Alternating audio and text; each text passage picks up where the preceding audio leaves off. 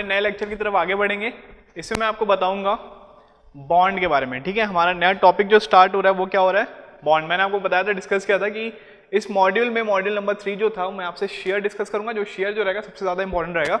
Share discuss करूँगा, फिर मैं आपसे बॉन्ड के बारे में डिस्कस करूँगा, और लास्ट में आपसे टॉर्जन के बारे में भी डिस्कस करूँगा। तो शेयर आई होप आपको समझ में आया होगा। जितनी भी चीज़ें मैंने बताई स्टेरप्स वगैरह के बारे में स्पेसिंग के बारे में, वहाँ पे डिज़ाइन के बारे में मैंने जो भी चीज़ बताई शेयर इन्फोर्समेंट के बारे में वो आपको आई होप कि आपको वो समझ में आई होगी कुछ हद तक, ठीक है? अब नेक्स्ट अपन बात करेंगे यहाँ पर बॉन्ड के बारे में। तो बेसिकली बॉन्ड का पहले मीनिंग समझ लीजिए बॉन्ड का मतलब क्या होता है? बॉन्ड का मतलब ये होता है कि कोई भी दो मटेरियल है, वो आपस में कैसी बॉन्डिंग कर रहे हैं। उसी को हम क्या बोलते हैं? बॉन्ड बोलते हैं।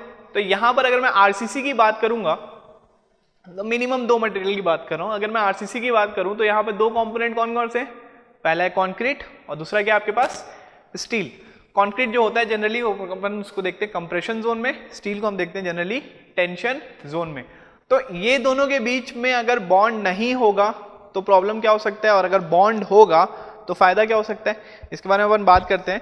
तो बेसिकली हम जब भी एनालाइज करते हैं आरसीसी को हम जब भी एनालाइज करते हैं, जब भी डिज़ाइन करते हैं, वहाँ पर हमारे एक अजम्पन ही होता है कि कॉन्क्रीट और जो हमारे पास री है, ये दोनों के बीच में क्या है? हमारे पास एक परफेक्ट बॉन्ड बना हुआ है। ठीक है? परफेक्ट बॉन्ड बना हुआ है मतलब यहाँ पर आपके पास जो भी स्लिपिंग होगी, दोनों मटेरियल के बीच में टेंसाइल है, आपके पास री है। री के चारों ओर सराउंडिंग में क्या है आपके पास? आपके पास कॉन्क्रीट है। तो क्या होगा? आपके पास अगर परफेक्ट बॉन्ड नहीं होगा तो क्या होगा? वहाँ पे स्लिपिंग हो जाएगी। मतलब आपके पास जैसे एक्चुअल फोर्स वगैरह लगा तो इन्फोर्समेंट क्या हो जाएगा? बाहर आ जाएगा। कॉन्क्रीट का वहीं वहीं वहीं का वहीं रह जाएगा। लेकिन ऐसा हम, क्या बोलते हैं? ऐसा हम नहीं मानते। हम अज्यूम करके चलते हैं और हम यहाँ पर बोलते हैं, जब भी हम एनालाइज करते हैं, हम वहाँ पर कहते हैं कि हमारे पास हम एजम्पन लेके चलते हैं कि कॉन्क्रीट और जो री है, दोनों के बीच में क्या है? आपके पास परफेक्ट बॉन्ड है। मतलब वहाँ पर दोनों के बीच में नो स्लिपेज कंडीशन है। ठीक है? दोनों आपके पास परफेक्टली बॉन्ड है। स्लिपिंग वहाँ पर नहीं होगी। अब बेसिकली होगा क्या? तो अगर परफेक्टली बॉन्ड है तो बॉन्ड क्या करेगा आपके पास? जो भी आपके पास, जो आपके पास जो री जो आपके पास स्टील है स्टील में जैसे मान लीजिए जो भी एक्चुअल फोर्स लगा है, जो भी एक्चुअल फोर्स लगाया है, वो क्या करेगा? स्टील उसको ट्रांसफ़र कर देगा किस पे? कंक्रीट पे उसको ट्रांसफ़र कर देगा और वहीं से हमारे पास क्या होगा?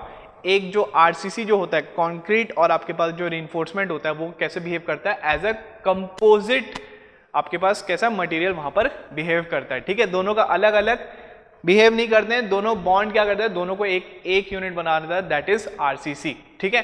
तो मैं यहाँ पर अगर मैं बात करूँ नॉर्मल अगर मैं एक बीम लिया, ठीक है? और यहाँ पर क्या किया मैंने? यहाँ पर मैंने री डाल दी, ठीक है? तो ये दोनों के बीच में कॉन्क्रीट और जो री है, ये दोनों के बीच में क्या हो रहा है? यहाँ पर एक परफेक्ट बॉन्ड देखने को मिलेगा।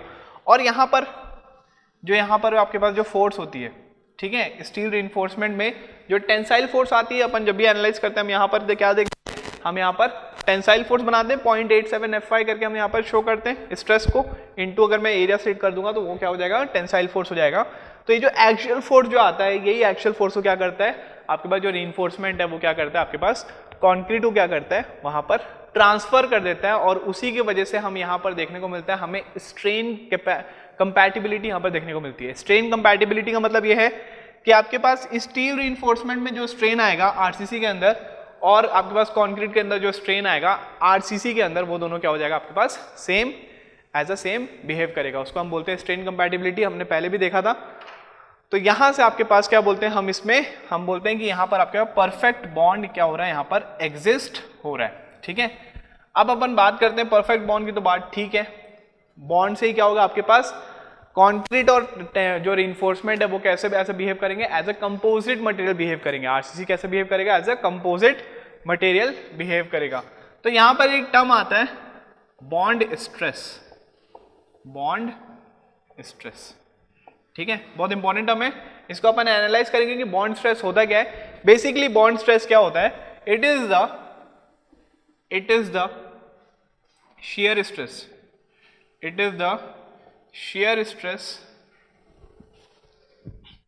developed between developed between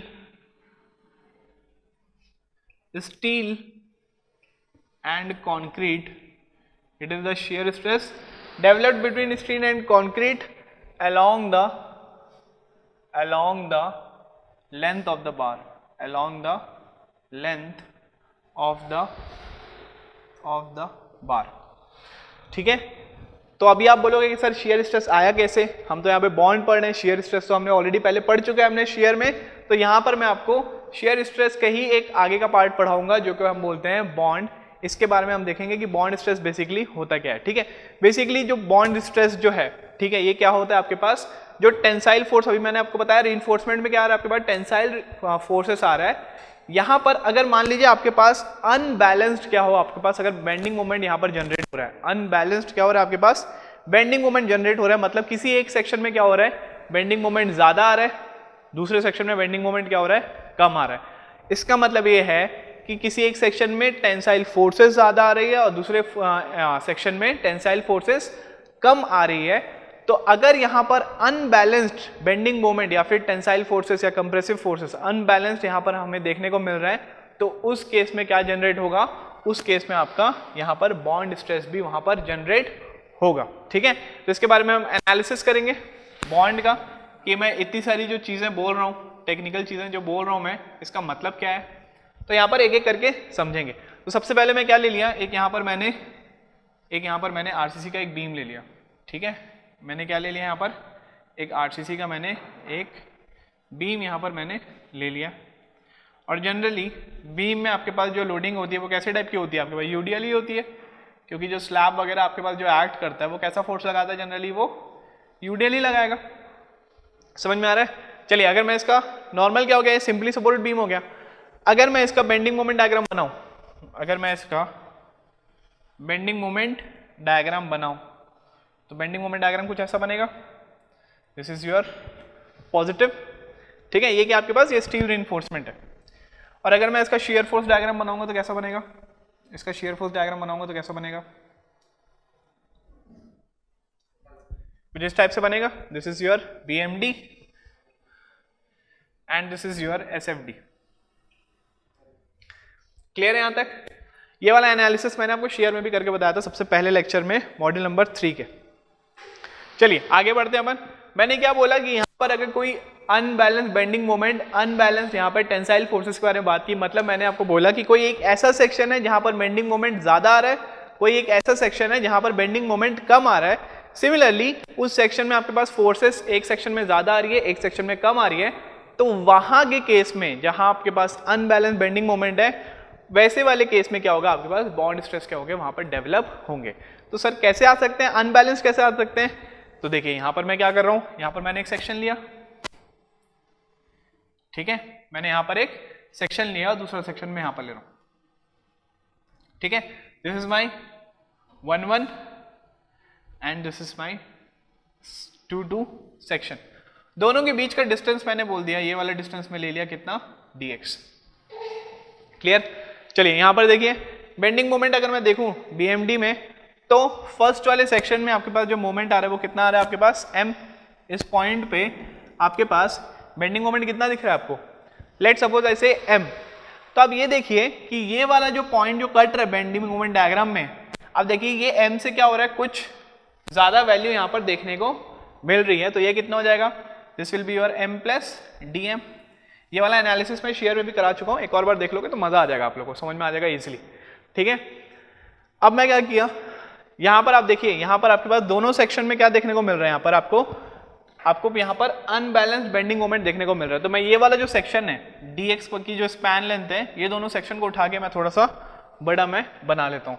तो यहाँ पर उसको मैं थोड़ा मैग्नीफाई कर लिया हूँ। ये दोनों सेक्शन को क्या किया मैंने? थोड़ा सा मैग्नीफाई यहाँ पर कर लिया तो this will be your one one this will be your one one section and this will be your two two section ठीक है?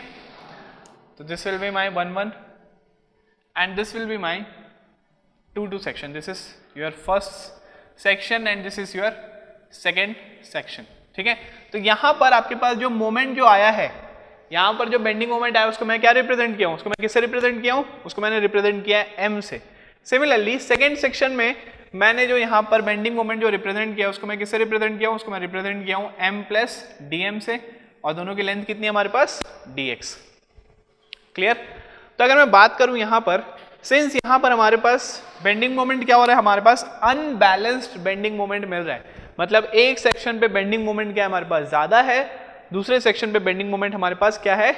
कम है। तो अगर बेंडिंग मोमेंट ज़्यादा है तो फोर्सेस भी ज़्यादा होगी। बेंडिंग मोमेंट कम है तो क्या होगा वहाँ पर? फोर्सेस भी क्या होगी? कम होगी। तो अगर मैं बात करूँ इसकी, अगर मैं इसकी बात करूँ तो यहाँ पर अगर मैं देखूँ तो अगर बात लीजिए, बीच में आपके पास क्या है? कुछ न्यूट्रल एक्सेस है। बीच में क्या है आपके पास? एक न्यूट्रल एक्सेस है। अगर मैं यहाँ पर स्ट्रेस डायग्राम बनाऊँ, स्ट्रेस डायग्राम बनाऊँ तो ये क्या है हमारे पास? ये स्ट्रेस डायग्राम ऐसा बनेगा। कंप्रेशन जोन है। ऊपर वाला क्या है आपके पास? कंप्रेशन जोन है। तो यहाँ पर स्ट्रेस डायग्राम थोड़ा सा बड़ा देखने को मिलेगा। ठीक है? तो ये क्या आपके पास? कंप्रेसिव फोर्स आएगी दिस विल बी सी और यहाँ पर सिंस बेंडिंग मोमेंट ज़्यादा है तो फोर्स भी क्या होगी? ज़्यादा आएगी that is C plus D C similarly ये क्या आपके पास? री है तो यहाँ पर आपके पास एक्चुअल फोर्स देखने को मिलेगा टेंसाइल फोर्स देखने को मिलेगा, कौन सा? टी और सिंस यहाँ पर बेंडिंग मोमेंट ज़्यादा है तो यहाँ पर जो फोर्सेस देखने को मिलेगा, वो थोड़ा कंपैरेटिवली ज़्यादा देखने को मिलेगा। टी से that is your T plus D T ये चीज़ भी मैंने आपको पहले समझा दिया था, ठीक है? तो यहाँ पर आपके पास अच्छा पहली चीज़ ये देख लेना, ये पहले शुरू में रेक्टेंगुलर है ना? ये पहले शुरू में रेक्टेंगुलर है, फिर पैराबोलिक है। इसको थोड़ा अच्छे से आप बना लेना, समझ में नहीं आ रहा होगा तो। ऊपर वाला पोर्शन जो थ्री बाय सेवन का जो रहता है, वो कितना रहता है आपके पास? रेक्टेंगुलर फिर नीचे पे क्या रहेगा आपके पास?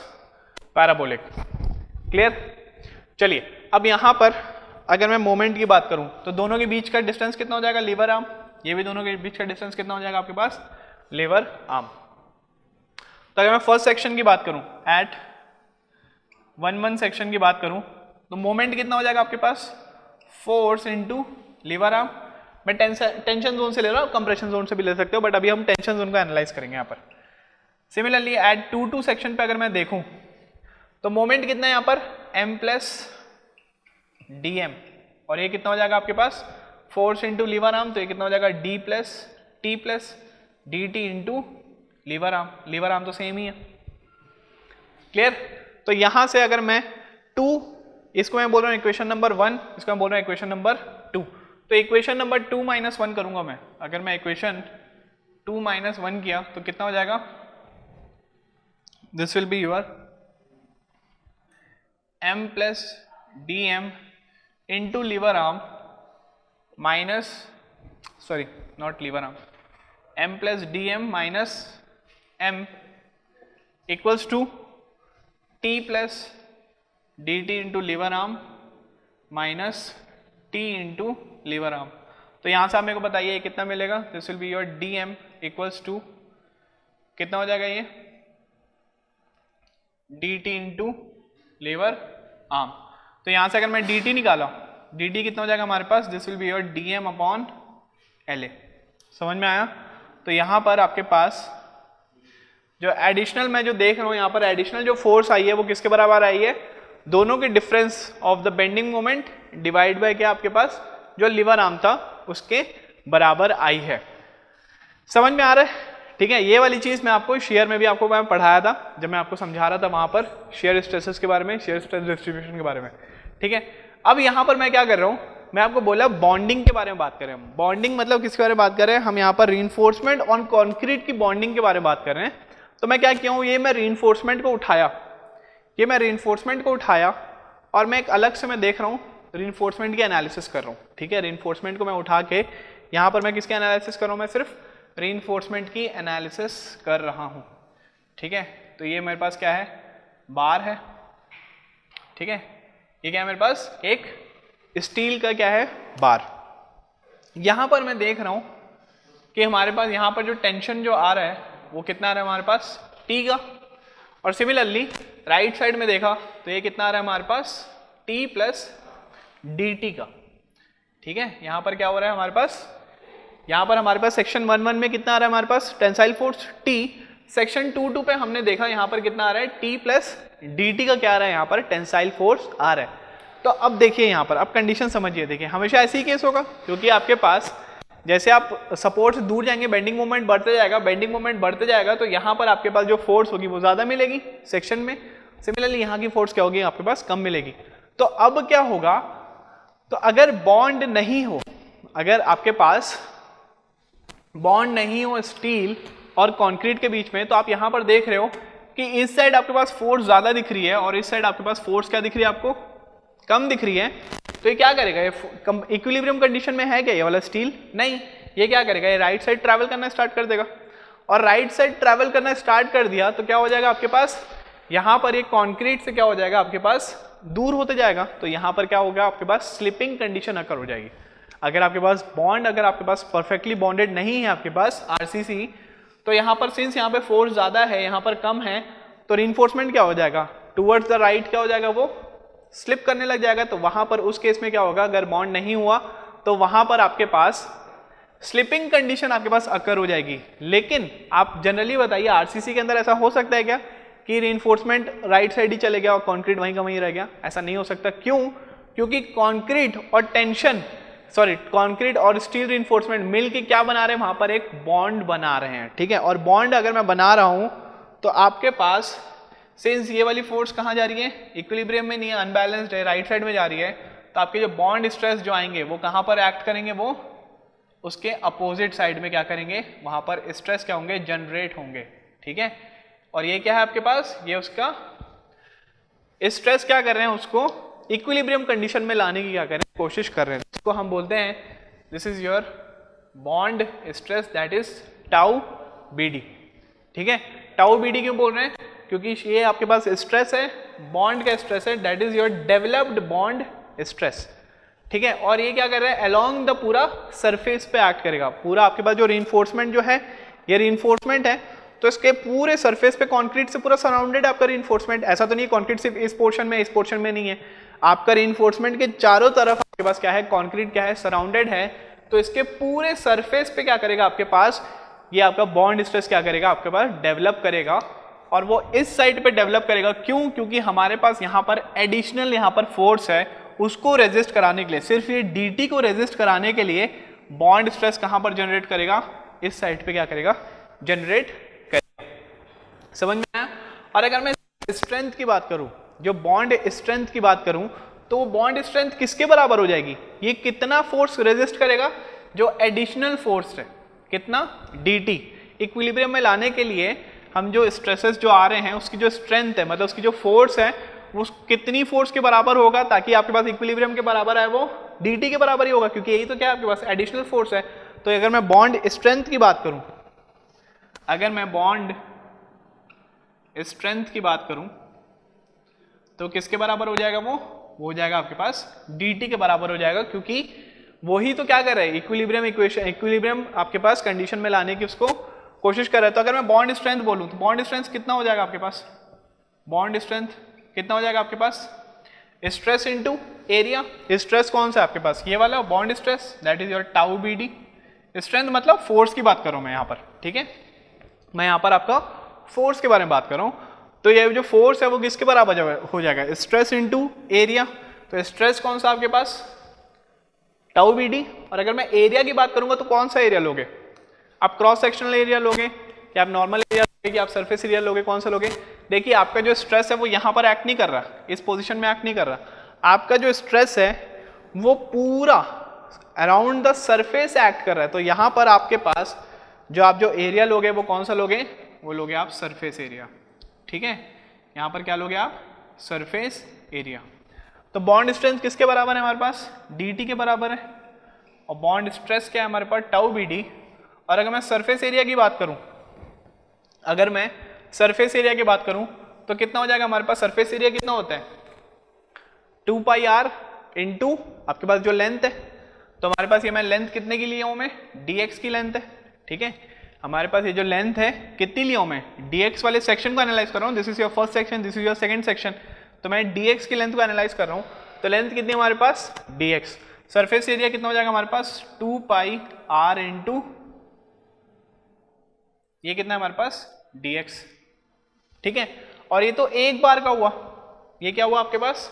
ये ऐसा एक बार का हुआ। और इसके पीछे पीछे और भी तो बार्स होंगे। ऐसा तो है नहीं कि सिर्फ़ आप एक ही बार लगाओगे। लॉन्गिट्यूडनल रिइंफोर्समेंट कितनी होती है? एक के बाद four reinforcement of 20 M M five reinforcement of 16 M mm ऐसा होता है ना? तो इसके पीछे पीछे और बार्स होगी तो ये कितना हो जाएगा? इन टू यहाँ पर आ जाएगा एन इन टू कितना हो जाएगा? मतलब एन नंबर ऑफ़ बार्स तो अगर मैं डीटी की बात करूँ तो डीटी कितना हो जाएगा हमारे पास? Tau B D into two into R को मैं क्या लिख सकता हूँ? डायमीटर लिख सकता हूँ। टू इंटू रेडियस क्या होता है? डायमीटर और डायमीटर किसका? ये हमारे पास जो हम जो रेनफोर्समेंट जो डाल रहे हैं तो उसकी डायमीटर को मैं कितना ले ले रहा हूँ? उसकी डायमीटर को मैं ले, ले रहा हूँ फाइव उसकी डायमीटर को मैं कितना ले ले रहा हूँ? मैं ले ले रहा हूँ फाइव इंटू एन इंटू क्या ले लिया मैंने? डी एक्स ठीक है? इंटू क्या ले लिया मैंने? डी एक्स तो यहाँ से अगर मैं बात करूँ ये वाला इक्वेशन हमारे पास आया कितना? डी टी का. कितना है हमारे पास? Tau B D into N into D X into five ठीक है? ये इक्वेशन को मैं बोल दे रहा हूँ वन और इसको मैं बोल दे रहा हूँ टू तो अगर मैं दोनों इक्वेशन को अगर मैं इक्वेट करूँ equating one and two equating one and two तो यहाँ पर हमारे पास डी टी किसके बराबर है? डी टी किसके बराबर है हमारे पास? D M upon lever arm D T किसके बराबर है हमारे पास? D M upon lever arm equals to क्या हो जाएगा? Tau B D into N into five into क्या हो जाएगा? एक्स तो अगर मैं टाउ बी डी निकालना चाहूँ तो कितना हो जाएगा? टाउ बी डी हो जाएगा हमारे पास D M upon lever arm into one upon N into pi भी आएगा ना यहाँ पर? यहाँ पर पाई भी आएगा। N into pi into five into D X ठीक है? पाई भी आएगा यहाँ पर। तो कितना हो जाएगा आपके पास? ये हो जाएगा N into pi into five upon कितना हो जाएगा? ये हो जाएगा अपॉन डी एक्स तो मैं यहाँ पर इसको मैं ऐसे लिख सकता हूँ कि tau B D equals to D M upon D X में लिख सकता हूँ। D M upon D X कितना हो जाएगा हमारे पास?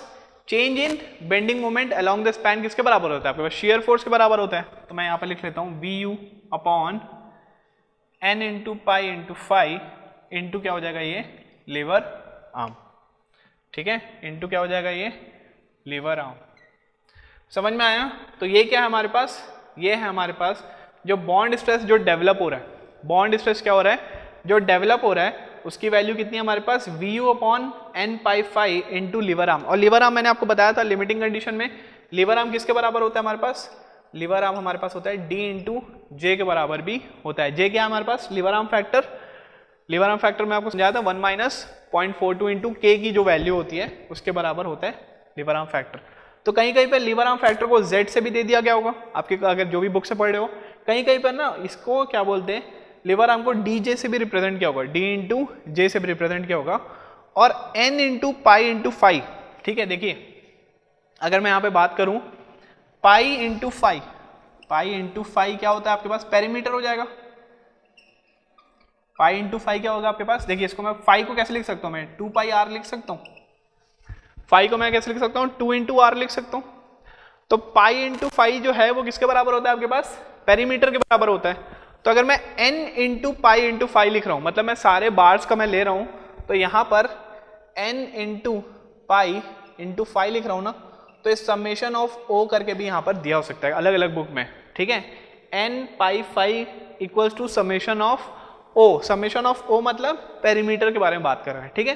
तो आप इसी से समझ लेना, यही वाली चीज़ को अलग अलग बुक में अलग अलग चीज़ों से यहाँ पर डिराइव किया गया कहीं कहीं पर लिवर आर्म को जेड से भी रिप्रेजेंट किया गया क्योंकि हम जनरली लिवर आर्म को किससे रिप्रेजेंट करते हैं? जब हम मॉडल नंबर टू पढ़े थे तो लिवर आर्म को हमने रिप्रेजेंट किया था किससे? जेड से। तो लिवर आर्म को जेड से भी रिप्रेजेंट कर सकते हैं। कोई बुक में लिवर आर्म को डी जे से भी रिप्रेजेंट किया होगा। N into pi into five कुछ नहीं आपके पास। समेशन ऑफ़ क्या है वो? पेरीमीटर है तो समेशन ऑफ़ ओ से भी वहाँ पर रिप्रेजेंट किया जा सकता है। ठीक है? आप बस ये वाला फॉर्मूला याद रखिएगा। ये क्या आपके पास?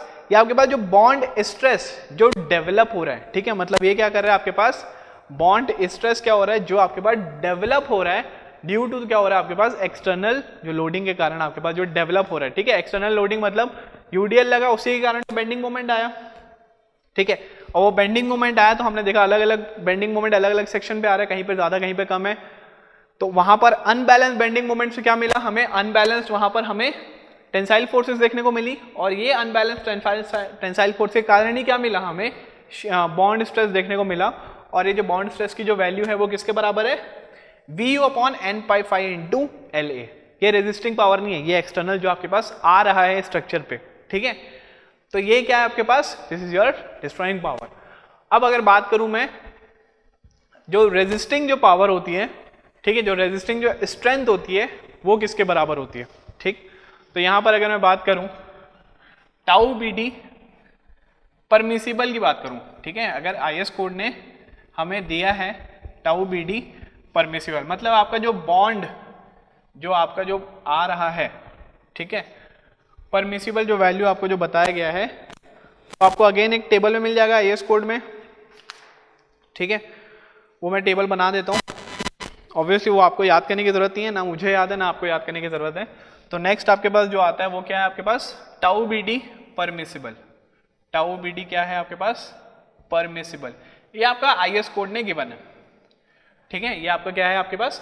आई एस कोड में गिवन है। वो जो मैंने बताया, वो क्या था आपके पास? इसको आप बोल सकते हो टाउ बी डी डेवलप्ड ठीक है? ये क्या है आपके पास? इसको आप बोल सकते हो this is your tau B D developed tau B D developed मतलब जो डेवलप जो हो रहा है, ठीक है, वो क्या है आपके पास? टाउ बी डी मतलब वो है आपका बॉन्ड स्ट्रेस दूसरा मैं अभी आपको जो बता रहा हूँ, वो क्या आपके पास? टाउ बी डी परमिसिबल ये आई कोड ने आपको जो डिफाइन किया है तो ये आपका डिपेंड करता है ग्रेड में. तो अगर मैं एम ट्वेंटी ग्रेड की बात कर रहा हूँ एम ट्वेंटी फाइव हो गया एम थर्टी हो गया एम थर्टी फाइव हो गया, इसके लिए आपको टाउ बी डी परमिसिबल जो वैल्यू है, वो आपको ऑलरेडी गिवन है आई एस कोड में. तो वैल्यू कितनी है आपके पास? दैट इज़ योर 1.2 1.4 1.5 1.7 और जैसे जैसे आप आगे बढ़ाते जाओगे, आपके पास टाउ बी डी जो परमिसिबल वैल्यू है, वो क्या होगा आपके पास? बढ़ते चले जाएगा। ये क्या आपके पास? ग्रेड ऑफ़ कॉन्क्रीट है। ठीक है? तो ये वाला टेबल आपको याद रखना है, या फिर आई कोड में आप देख सकते हो। इन केस अगर गेट वगैरह ऑब्जेक्टिव की बात करें, जहाँ पर आप आई कोड अलाउड नहीं है तो वहाँ पर ये वाली वैल्यू आपको क्वेश्चन में दे दी रहेगी कि आपके पास टेब फ्रॉम टेबल इस ग्रेड के लिए आपके पास परमिसिबल आपके पास जो वैल्यू है वो कितनी आपके पास 1.4 है। लेकिन आई कोड ने एक चीज़ और बताया इसमें कि जो परमिसिबल वैल्यू आप जो निकाल रहे हो, ठीक है? ये जो परमिसिबल वैल्यू आप जो निकाल रहे हैं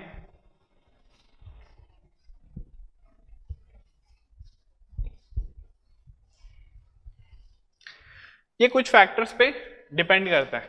सबसे पहला आपके पास आता है फ़र्स्ट वाला फैक्टर इसमें आपको बोल रहे हैं कि अगर आपके पास, जब भी अगर आप H Y S D bar जब भी आप यूज़ करें if H Y S D bars are use if H Y S D bars are use H Y S D bar मतलब F E four one five या five hundred की बात कर रहे हैं then increase then increase then increase tau bd permissible value permissible value by 60 percent by 60 percent इसको याद रखिएगा, बहुत अच्छे से याद रखिएगा, बहुत ही ज़्यादा अच्छे से याद रखिएगा। ठीक है ऑब्जेक्टिव का फेवरेट जोन है सेकेंड सेकेंड आपको बोलता है if the steel is in compression zone if the steel is in compression zone यहाँ पे लिख लेना if the steel is in compression zone then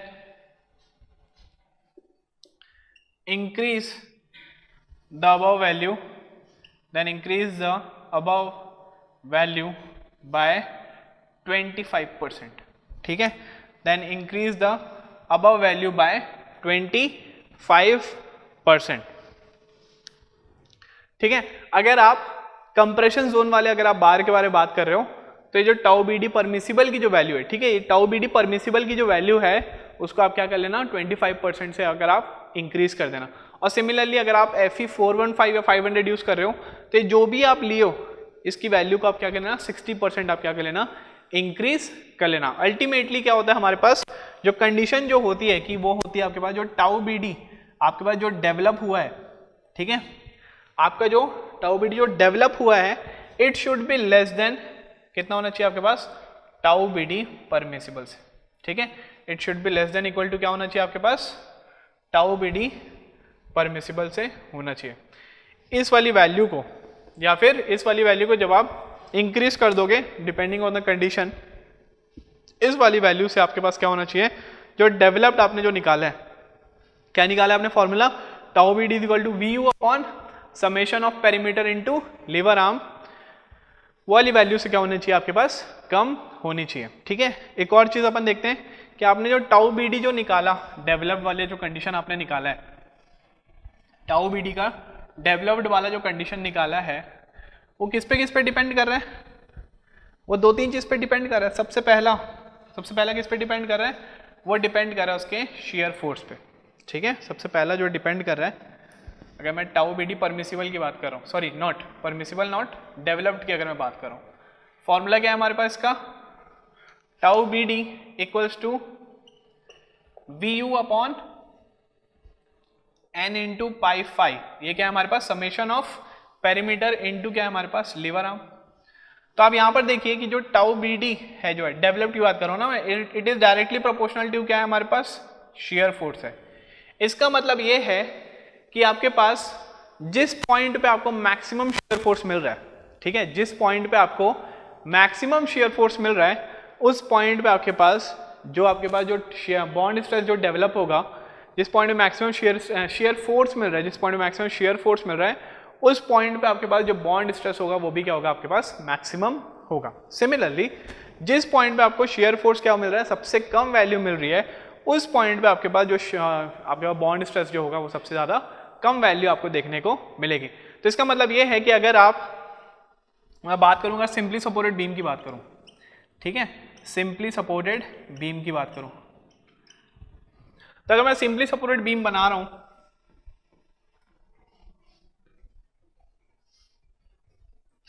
अगर मैं सिंपली सपोर्टेड बीम बना रहा हूँ, ठीक है? हमारे पास ये क्या है? हमारे पास सिंपली सपोर्टेड बीम है। तो यहाँ पर आपको पता है कि शेयर फोर्स कहाँ पर मैक्सिमम मिलेगा आपको? शेयर फोर्स आपको मिलेगा मैक्सिमम किस पॉइंट पे? आपको मिलेगा इस पॉइंट पे। एट द सपोर्ट्स आपको क्या मिलेगा यहाँ पर? एट द सपोर्ट्स आपको शेयर फोर्स क्या मिलेगा? आपको मैक्सिमम मिलेगा। तो मतलब जब भी आप सिंपली सपोर्टेड की बात कर रहे हैं तो हमें टाउ बी डी कहाँ पर निकालना है? हमें निकालना है एट द सपोर्ट्स क्यों? क्योंकि हमें वहाँ पर सपोर्ट में शेयर फोर्स की वैल्यू क्या मिलेगी? हमें मैक्सिमम मिलेगी। हमें शेयर फोर्स की वैल्यू सपोर्ट्स पे क्या मिलेगी? हमें मैक्सिमम मिलेगी। बाकी जगह देखिए आप, जैसे आप बढ़ते जाएँगे तो वैल्यू क्या हो जाएगी आपके पास? शेयर फोर्स क्या हो रहा है आपके पास? कम होते जा रहा है। और यहाँ पर शेयर फोर्स की वैल्यू कितनी है? ज़ीरो तो मतलब इस पॉइंट पे अबाउट द सेंटर आपको वहाँ पर बॉन्ड स्ट्रेस भी कितना मिलेगा आपको?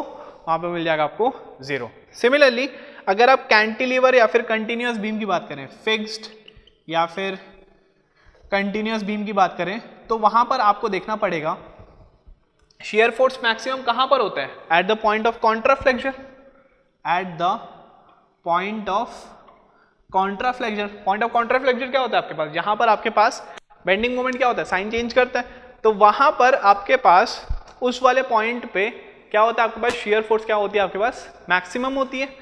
तो वहाँ पर आपके पास पॉइंट ऑफ़ कॉन्ट्राफ्लेक्चर में शेयर फोर्स क्या होगी? मैक्सिमम होगी। तो आपके पास बॉन्ड स्ट्रेस भी क्या होगा? आपके पास, वहाँ पर भी आपके पास मैक्सिमम होगा। तो जब भी आप सिंपली सपोर्टेड की बात करोगे तो टाउ बी डी आप कहाँ पे निकाल लेना? सपोर्ट्स पे निकाल लेना। जब भी आप फिक्स कंटिन्यूस कैंटिलीवर की अगर आप बात कर रहे हो तो वहाँ पर आप पहले पॉइंट ऑफ़ कॉन्ट्राफ्लेक्चर को देखना। मतलब पॉइंट ऑफ़ कॉन्ट्राफ्लेक्चर में शेयर फोर्स कितना होगा? मैक्सिमम होगा। और उसी पॉइंट पे क्या होगा आपके पास? टाउ बी डी क्या होगा? आपके पास मैक्सिमम आपको मिलेगी। समझ में आया चीज़? दूसरी चीज़। अगर मान लीजिए ये वाला कंडीशन आपको देखने को नहीं मिला, ठीक है? अगर मान लीजिए आपको जो डेवलप्ड आपके पास जो शेयर स्ट्रेस आ रहा है, वो क्या हो रहा है आपके पास? ये वाला कंडीशन देखने को नहीं मिला, क्या हो गया आपके पास? मान लीजिए ये ज़्यादा हो गया, ठीक है? ये क्या हो गया आपके पास? ज़्यादा हो गया। अब क्या करेंगे? ये वाला कंडीशन परमिसिबल जो लिमिट है हमारे पास आई कोड ने दी है, उसको क्या कर दिया? एक्सीड कर तो हमें क्या करना पड़ेगा? इसकी वैल्यू को हमें कम करना पड़ेगा। तो हम क्या करेंगे? इसकी वैल्यू को हमें कम करना पड़ेगा तो मतलब आपके पास ये वाला जो है ना एन पाई फाइव इसकी वैल्यू को अगर मैं कम कर दूँगा, ठीक है? इसकी वैल्यू को अगर मैं कम कर दिया सॉरी इसकी वैल्यू को मैं क्या कर रहा हूँ? इसकी वैल्यू को मैं बढ़ा दिया अगर, इसकी वैल्यू को मैं क्या कर रहा हूँ? इसकी वैल्यू को अगर मैं बढ़ा दिया तो मेरी टाओ बी डी की वैल्यू क्या हो जाएगी? कम हो जाएगी। तो अगर ये वाला कंडीशन आया तो आप क्या कर लेना? अगर मान लीजिए आपके पास ये वाला कंडीशन आ गया कि परमिसिबल से भी एक्सीड कर दिया तो मैं क्या करूँगा यहाँ पर?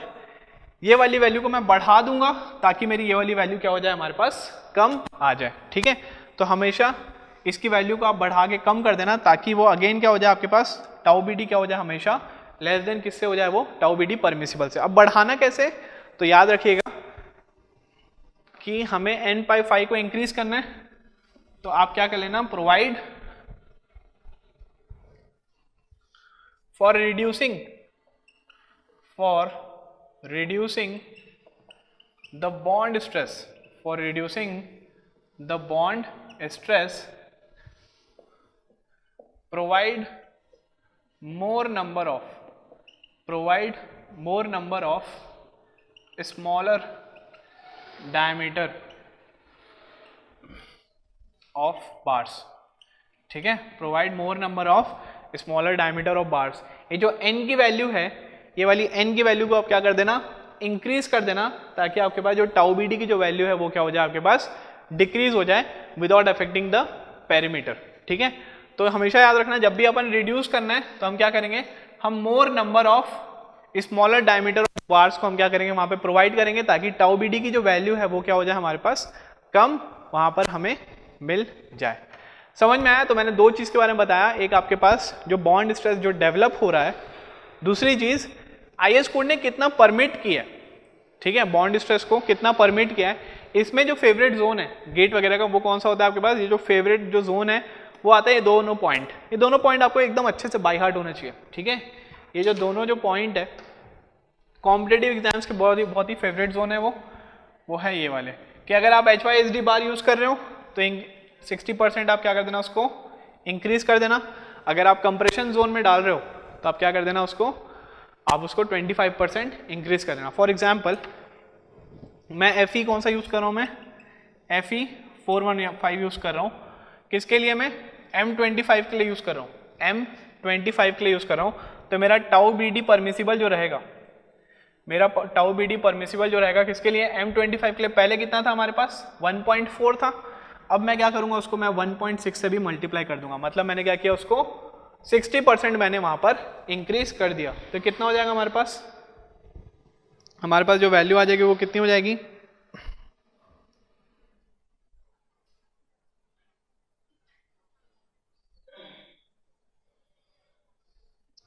That is your two point two four M P A ठीक है? कितना हो जाएगा ये? Two point two four M P A similarly अगर मैं बोल रहा हूँ कि मैं ये F E four one five को मैं कंप्रेशन जोन में डाल दिया, ठीक है? मैं कंप्रेशन बार की मैं बात कर रहा हूँ, तब आपके पास यही एम ट्वेंटी फाइव ग्रेड के लिए, तब अगर मैं बात करूँ एम ट्वेंटी तो कितना होता था? One point four F E four one five use कर रहा हूँ तो मतलब सिक्सटी परसेंट इंक्रीज कर दिया। साथ ही साथ मैं बोल रहा हूँ कंप्रेशन जोन की मैं आपके पास एनालाइज कर रहा हूँ मैं। उस बार को मैंने कहाँ पर डाला है? कंप्रेशन जोन में डाला है। तो अगेन मैं इसको क्या करूँगा? ट्वेंटी फाइव परसेंट अगेन मैं और इंक्रीज कर दूँगा तो कितना हो जाएगा ये? इसकी जो वैल्यू मिलेगी, वो कितनी मिलेगी? टू पॉइंट ठीक है? तो यहाँ पर आपको ये जो वैल्यू जो आई है टाउ बी डी परमिसिबल या H Y H D bar के लिए यहाँ पर इवेल्युएट नहीं की गई है। यहाँ पर आपको देखना पड़ेगा, अगर आपके पास H Y H D bar है तो 1.6 से मल्टीप्लाई कर देना। अगर आपके पास H Y H D bar है, साथ ही साथ आपने कंप्रेशन जोन में भी डाला है तो आप सिर्फ़ क्या कर देना आप? उसको 1.25 से भी और मल्टीप्लाई कर देना। लेकिन मान लीजिए आपने एच वाई बार नहीं यूज़ किया एफ़ ई टू यूज़ किया, लेकिन एफ़ ई फिफ्टी को आपने कंप्रेशन जोन में डाल दिया तो ये 1.4 पॉइंट क्या हो जाएगा? 1.25 हो जाएगा। वहाँ पर आप 60 परसेंट से इंक्रीज नहीं करोगे, सिर्फ़ कंप्रेशन जोन में डाला है तो आपने वहाँ पर सिर्फ़ सिर्फ़ 25 परसेंट से ही वहाँ पर आप इंक्रीज करेंगे। समझ में आए ये सारी चीज़ें?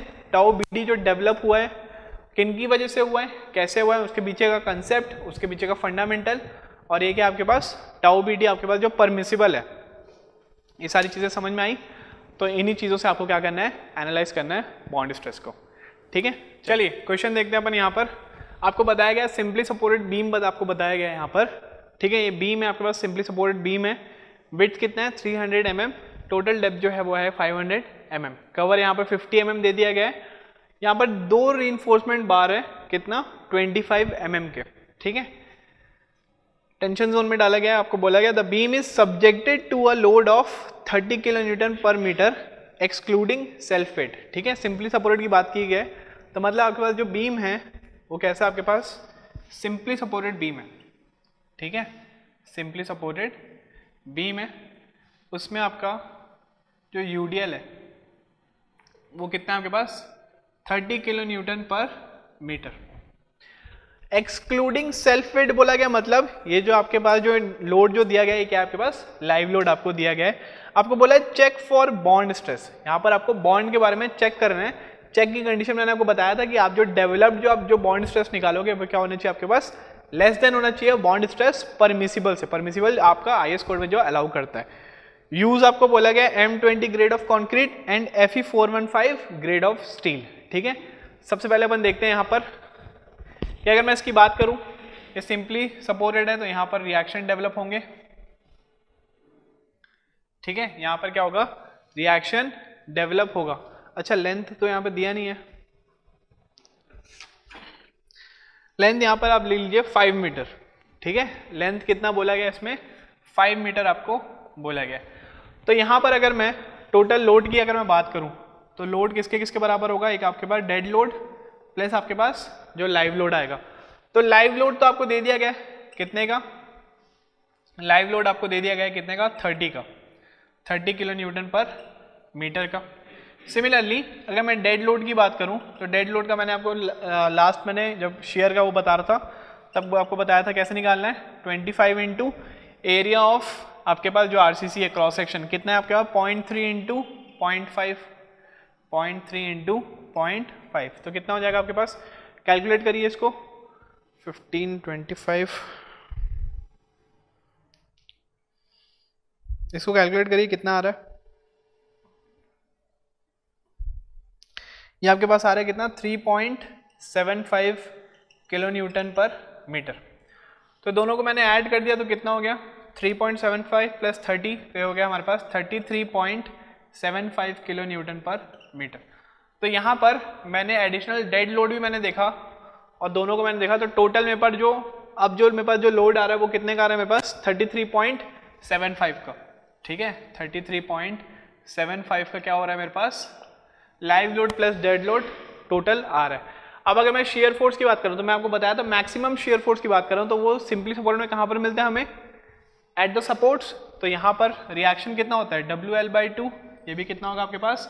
डब्ल्यू एल बाय टू तो अगर मैं शेयर फोर्स की बात करूँ वी की तो कितना हो जाएगा आपके पास? W into L by two कितना आपके पास? Thirty three point seven five into L कितना आपके पास? फाइव बाय कितना हो जाएगा आपके पास? टू सॉल्व करिए इसको। इसको सॉल्व करिए। तो कितना आ जाएगा ये? Thirty three point seven five into two point five कितना आ रहा है ये? ये आपके पास आ रहा है 84.375 बट मुझे क्या निकालना है? मुझे अल्टीमेट शेयर फोर्स चाहिए तो 1.5 से मल्टीप्लाई कर दिया मैं। कितना हो गया? 83.375 इसकी वैल्यू कितनी होगी इंटू वन पॉइंट फाइव तो ये हो गया आपके पास 126.56 किलो न्यूटन ठीक है? ये कितना आ गया आपके पास? This will be your 126. Five six kilo newton तो समझ में आया यहाँ से हमने क्या निकाल लिया? हमने यहाँ से शेयर फोर्स निकाल लिया। शेयर फोर्स के लिए जो भी कंडीशन हमें दी थी, वो कंडीशन को हमने पुट करके यहाँ पर सिर्फ़ लाइव लोड दिया था तो डेड लोड हमने खुद से निकाल के टोटल हमने इंटेंसिटी निकाला और वो इंटेंसिटी से हमें पता है कि सपोर्ट पे क्या होता है? हमें मैक्सिमम शेयर फोर्स मिलता है। अगर आप एसएफडी बनाओगे तो यहाँ पर मैक्सिमम मिलेगा, फिर आपके पास सेंटर में क्या मिलेगा? वो ज़ीरो मिलेगा और लास्ट में अगेन मैक्सिमम आपको मिल जाएगा शेयर फोर्स चलिए, हमें क्या निकालना है? सबसे पहले देखना है हमें टाउ बी डी डेवलप्ड हमें यहाँ पर देखना है टाउ बी डी डेवलप्ड कितना है। तो इसका फॉर्मूला कितना होता है आपके पास? टाउ बी डी का। ये होता है आपके पास वी यू अपॉन सॉरी ये कितना होता है आपके पास? V U upon N pi five into क्या हो जाएगा आपके पास? लीवर आर्म ठीक है, अब आपको लीवर आर्म वगैरह के बारे में कुछ बताया क्या? नहीं बताया तो मैं यहाँ पे क्या ले लूँगा? लिमिटिंग कंडीशन ले लूँगा। मतलब एल ए क्या हो जाएगा हमारे पास? डी इंटू जे ठीक है? चलिए पुट करते हैं यहाँ पर। और आपको यहाँ पर डायमीटर के बारे में बताया हाँ। बिल्कुल बताया यहाँ पर। डायमीटर कितना है आपके पास? 25 five M M number of bars कितने हमारे पास? टू तो वी यू कितना है हमारे पास? वी यू आ गया 126.56 kilo newton. Upon number of bars कितने हमारे पास? Two into pi into diameter कितना हमारे पास? 25 फाइव एम एम में रख रहा हूँ तो किलो न्यूटन को आप न्यूटन में चेंज कर दो। एम एम में रख रहा हूँ तो किलो न्यूटन को आप न्यूटन में चेंज कर दो। Into lever arm lever arm बताइए। लीवर आर्म कितना हो जाएगा? लीवर आर्म हो जाएगा हमारे पास डी इंटू जे डी कितना हो जाएगा आपके पास? Total depth minus effective cover small D क्या हमारे पास? इफ़ेक्टिव डेप्थ है तो 500 माइनस फिफ्टी करेंगे तो कितना हो जाएगा? 450 तो ये कितना हो जाएगा हमारे पास? 450 फिफ्टी इंटू अगर मैं जे की बात करूँ तो जे क्या होता है हमारे पास? Lever arm factor module number two में जाइए वापस। कितना हो जाएगा? One minus point four two into K अब के की value F E four one five के लिए कितनी होती है? Point four eight. तो ये होते हैं one point four two into point four eight. तो यहाँ से आप सॉल्व करोगे तो कितना आ जाएगा आपके पास? पॉइंट सेवन नाइन अराउंड आ जाएगा. तो यहाँ से आप इसको पॉइंट एट ले लेना लीवर आर्म को। तो ये कितना हो जाएगा आपके पास? Four fifty into point eight ठीक है? कितना हो जाएगा ये? इसको आप सॉल्व करिए। इसको आप सॉल्व करिए।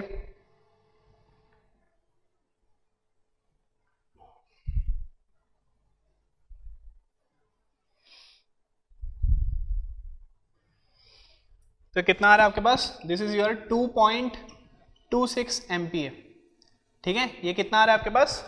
2.26 एमपीए ये क्या आपके पास? ये आपके पास बॉन्ड स्ट्रेस जो आपके पास डेवलप हो रहा है, ठीक है? ये आपके पास जो डेवलप जो हो रहा है, वो बॉन्ड स्ट्रेस स्ट्रेस कितना है? स्ट्रेंथ नहीं है रेजिस्टिंग नहीं है। जो आपके पास जितना चाहिए बॉन्ड स्ट्रेस कितना है आपके पास? 2.26 पॉइंट सिमिलरली अगर मैं सेकेंड अगर मैं टाउ बी डी परमिसिबल की अगर मैं बात करूँ, ठीक है? परमिसिबल के मतलब आपके पास जो अलाउेबल है बाय आईएस कोड तो टाउ बी डी परमिसिबल कितना होगा आपके पास? टेबल से अगर आप देखोगे तो टेबल में अगर आप देख लेना इसको मैंने जो टेबल बना के जो दिया था, उसमें आप देख लेना एम ट्वेंटी के लिए टाउ बी डी आपके पास होता है कितना? 1.2 एम ट्वेंटी के लिए आपके पास टाउ बी डी परमिसिबल कितना होता है आपके पास? 1.2 लेकिन यहाँ पर हमारे पास जो ग्रेड हम जो यूज़ कर रहे हैं स्टील का, वो कौन सा है? F E four one five F E four one five mild steel है कि H Y S D bar है? वो कैसा आपके पास? H Y S D bar है। तो मैं इसको क्या कर दूँगा? इसको मैं सिक्सटी परसेंट से क्या कर दूँगा? मैं इंक्रीज कर दूँगा। और आपके पास स्टील यहाँ पर टेंशन में कंप्रेशन में स्टील आपके पास जिसको हम एनालाइज कर रहे हैं, वो आपके पास टेंशन में है कि कंप्रेशन में? ऑब्वियसली टेंशन जोन है तो 25 परसेंट से मैं इंक्रीज करूँगा क्या? नहीं। वहाँ पर आप 25 परसेंट से इंक्रीज आप नहीं कर सकते। तो कितना हो जाएगा? 1.2 पॉइंट टू इंटू वन कितना होता है आपके पास? This will be your 1.92 megapascal ये कितना हो जाएगा आपके पास? 1.92 मेगा पास्कल अब मैंने क्या बोला था कि हमारे पास टाउ बी जो डेवलप किए हैं हम, जो डेवलप हो रहा है it should be less than होना चाहिए किससे? परमिसिबल वैल्यू से कम होना चाहिए। स्ट्रेस जो डेवलप हो रहा है, वो परमिसिबल स्ट्रेस से क्या होना चाहिए? हमेशा कम होना चाहिए। बट यहाँ पर आप देखोगे तो वो कितना आ रहा है? 2.26 it is not less than कितना? 1.92 तो यहाँ पर क्या हो रहा है मेरे पास? बॉन्ड में क्या हो जा रहा है मेरे पास? फेलियर देखने को मिल रहा है।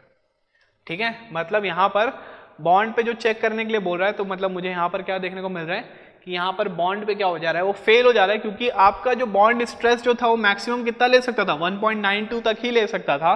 लेकिन हमारे पास जो स्ट्रेस आ रहा है, वो कितना आ रहा है हमारे पास? 2.26 यहाँ पर देखने को मिल रहा है। तो मैंने क्या बोला था? अगर इस कंडीशन में अगर ये कंडीशन पे अगर आपके पास नहीं मिला तो हम क्या करेंगे? इसकी वैल्यू को हमें कम करना पड़ेगा। इसकी वैल्यू को हमें कम करना पड़ेगा तो कम कैसे करेंगे? टाओ बी टी डेवलप जो है, अगर मैं बोलूँ इसको कम करना है तो कम करने का मैंने आपको क्या बताया था कि आप इसकी वैल्यू को बढ़ा दीजिए पेरीमीटर वाली वैल्यू को बढ़ा दीजिए तो टाउ बी क्या हो जाएगा आपके पास? कम मिल जाएगा। अब देखिए, यहाँ पर हमें पेरीमीटर को बढ़ाना है तो इसके पीछे कंसेप्ट समझिए। मैंने क्या बोला था कि नंबर ऑफ़ बार्स बढ़ा देना वहाँ पर। और वहाँ पर क्या कर लेना स्मॉल डायमीटर के बार्स ले लेना। ठीक है? नंबर ऑफ़ बार्स बढ़ा के स्मॉल डायमीटर के बार्स को ले लेना। अब कैसे करना है वो समझिए। हमारे पास अगर मैं एएसटी अगर मैं निकालूं ए कितना है हमारे पास? दो बार है किसके? 25 फाइव mm के। तो एरिया निकालूँगा तो कितना हो जाएगा? Pi by four into twenty का स्क्वायर ठीक है? एरिया ऑफ़ अगर मैं टेंशन इन्फोर्समेंट बोलूँ तो कितना हो जाएगा? Two into pi by four into twenty five का स्क्वायर तो कितना हो जाएगा वो? पुट करिए। तो वैल्यू कितनी मिलेगी आपको? 981.75 mm स्क्वायर। ठीक है? एरिया ऑफ़ रिइंफोर्समेंट जो आ रहा है वो कितना आ रहा है? 981.75 mm स्क्वायर। अब मैं क्या बोल रहा हूँ? मैं मैं बोल रहा हूँ कि आप क्या करिए? पेरीमीटर बढ़ा दीजिए। ठीक है? ये वाली जो वैल्यू है, मैं बोल रहा हूँ नंबर ऑफ़ बार्स को बढ़ा दीजिए ऑफ़ स्मॉलर डायमीटर के बार्स को रख के, ठीक है? डायमीटर को आप छोटा करिए नंबर ऑफ़ बार्स को बढ़ा दीजिए तो आपका जो टाउ बीडी है, वो क्या हो जाएगा? कम हो जाएगा without affecting the area of reinforcement ठीक है? तो यहाँ पर हमने क्या किया था? यहाँ पर हमने टू बार्स ऑफ़ क्या लिए थे हम? 25 फाइव mm लिए थे। टू बार्स ऑफ़ क्या लिए थे हम? 25 फाइव mm लिए थे। मैं क्या बोल रहा हूँ? For reducing reducing tau b d developed increase n of smaller diameter increase n of smaller diameter तो मैं छोटा डायमीटर ले रहा हूँ। तो मैं चलो एक बार देखता हूँ प्रोवाइड मैं कर रहा हूँ कितना? 16 एम mm बार्स को। मैं क्या किया मैंने? 16 एम mm बार्स को मैंने प्रोवाइड किया। तो A S T A S T कितना है हमारे पास? 981 ए एस टी कितना होता है हमारे पास? N into five by four into कितना होगा हमारे पास? 16 का स्क्वायर और ए एस टी की वैल्यू कितनी है? 981.75 981.75 तो यहाँ से आप मेरे को नंबर बताइए। नंबर ऑफ़ बार्स कितने हो जाएँगे? अगर आप 16 एम mm बार्स को अगर आप प्रोवाइड कर रहे हैं, ठीक है? अगर आप 16 एम mm के बार्स को अगर आप प्रोवाइड कर रहे हैं तो कितने नंबर ऑफ़ बार्स प्रोवाइड करेंगे without changing the area of reinforcement तो कितने नंबर ऑफ़ प्रोवाइड प्रोवाइड करेंगे? 981.75 into four divide by 16 square upon pi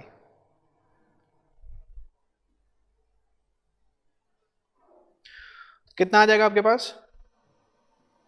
ये आपके पास आ जाएगा 4.88 4.88 आ रहा है मतलब मैं कितना ले लिया? इसको मैं ले लिया फाइव नंबर ऑफ़ बार्स मैंने ले लिया, ठीक है? अब अगेन क्या कर रहा हूँ मैं? टाउ बी डी निकाल रहा हूँ टाउ बी डी निकाल रहा हूँ। देखिए मैं ए एस टी को ऑलमोस्ट मैंने सेम ही रखा है। ए को मैंने चेंज नहीं किया है। मैंने चेंज क्या किया है? उसके पहले जो दो नंबर ऑफ़ बार्स जो थे, अब मैं क्या प्रोवाइड कर रहा हूँ? मैं पाँच नंबर ऑफ़ बार्स प्रोवाइड कर रहा हूँ, ठीक है? पाँच नंबर ऑफ़ बार्स प्रोवाइड करूँगा तो वहाँ पर अपन देखेंगे कि टाओ बी की जो न्यू वैल्यू है वो कितनी आएगी, ठीक है? टाओ बी की जो न्यू वैल्यू है वो कितनी आएगी?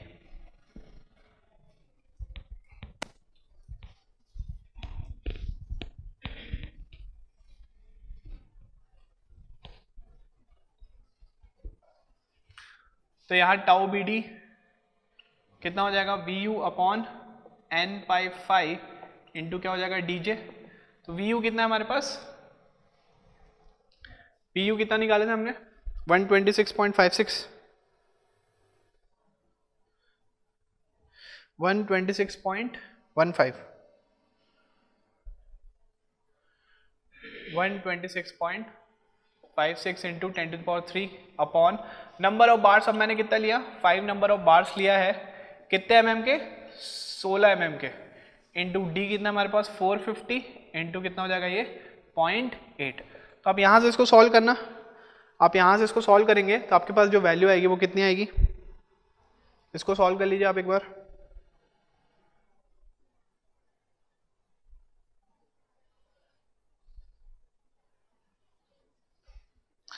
मैं फ़ोन से यूज़ कर रहा हूँ। आप कैल्सी में यूज़ करोगे तो बहुत जल्दी आ जाएगा।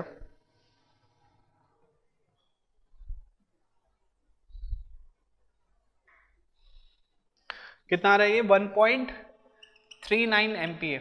कितना आ रहा है ये? 1.39 एमपीए। तो देखिए, पहले कितना आ रहा था हमारे पास? 2.26 समथिंग कुछ आ रहा था। अब मैंने क्या किया? यहाँ पर मैंने नंबर ऑफ़ बार्स को मैंने जैसे ही इंक्रीज किया with shorter amount of smaller amount of diameter तो यहाँ पर मेरे को टाउ बी क्या देखने को मिल गया? मुझे लेसर वैल्यू देखने को मिल गई। कितनी? 1.39 एमपीए और हमारे पास टाउ बी डी परमिसिबल कितना है? 1.92 तो देखिए, जैसे आपने यहाँ पर छोटे डायमीटर ऑफ़ बार्स को जैसे आपने डाला तो नंबर ऑफ़ बार्स क्या हो जाएँगे? इंक्रीज हो जाएँगे without changing the area of re ठीक है? तो यहाँ पर क्या हो गया? अब आपके पास टाउ बी डी आपने जो डेवलप हो रहा है इट इज़ लेस देन क्या है आपके पास? टाउ बी डी परमिसिबल ठीक है? तो अब क्या होगा आपके पास? अब इस कंडीशन में जब आप पाँच नंबर ऑफ़ बार्स डालेंगे किसमें? 16 एम mm डायमीटर्स के तो क्या होगा आपके पास? कंडीशन क्या हो जाएगा? आपके पास सेटिस्फाई हो जाएगा। कैसे? क्योंकि देखिए, दो नंबर ऑफ़ बार्स है। आपने पूरा आरसीसी में सिर्फ़ दो नंबर के, सिर्फ़ दो बार्स डाले। तो ऑब्वियसली जो बॉन्ड जो होगा कॉन्क्रीट और आरसीसी का जो बॉन्ड है, वो कम एरिया पे होगा। लेकिन अगर वहीं पर अगर अगर फाइव बार्स डाल दिए ऑब्वियसली कॉन्क्रीट और स्टील भी क्या है, बहुत ज़्यादा है। तो वहाँ पर अगर आप देखोगे तो हर स्टील के सराउंडिंग में क्या हो रहा है, हर स्टील के सराउंडिंग में कॉन्क्रीट के साथ क्या बन रहा है, वहाँ पर बॉन्ड बन रहा है। तो ऑब्वियसली वो वाला क्या होगा आपके पास? बेटर क्या होगा आपके पास? वहाँ पर बेटर बॉन्डिंग आपको देखने को मिलेगी। तो स्ट्रेसेस क्या होंगे वहाँ पर? कम आएँगे, ठीक है? तो वही नंबर हमने वही किया है कि यहाँ पर जो दो बार्स थे, उसको हमने चेंज करके फाइव बार्स हमने प्रोवाइड किया। भले ही वहाँ पर आपके पास जो डायमीटर हो, भले कम हो वो चल जाएगा, लेकिन लेंथ क्या हो जाएगी, जो पेनिट्रेट हो रही है कॉन्क्रीट के अंदर, वो क्या हो जाएगी, ज़्यादा हो जाएगी। तो वो क्या हो जाएगा, काफ़ी ईजी आपके पास स्ट्रेंथ आपको काफ़ी अच्छा वहाँ पर मिल जाएगा। तो समझ में आया कैसे करना है? अगर आपके पास डेवलप्ड अगर आपके पास स्ट्रेस ज़्यादा भी हो रहे हैं तो आप क्या करिए without changing the area of reinforcement आप more number of bars provide कीजिए with smaller diameter of bars में तो आपको जो टाउ बी की जो वैल्यू है, वो क्या मिल जाएगी? रिड्यूस्ड होके मिल जाएगी। अब आप कंपेयर करोगे तो वो परमिसिबल से क्या हो जाएगा? वो कम वैल्यू आपको वहाँ पर मिल जाएगी। ठीक है? तो इसी टाइप से आपको क्वेश्चन को अटैम्प्ट करना है। बॉन्ड का भी और भी चीज़ें बची है डेवलपमेंट लेंथ वगैरह, वो अपन देखते हैं नेक्स्ट लेक्चर में। ठीक है? चलिए।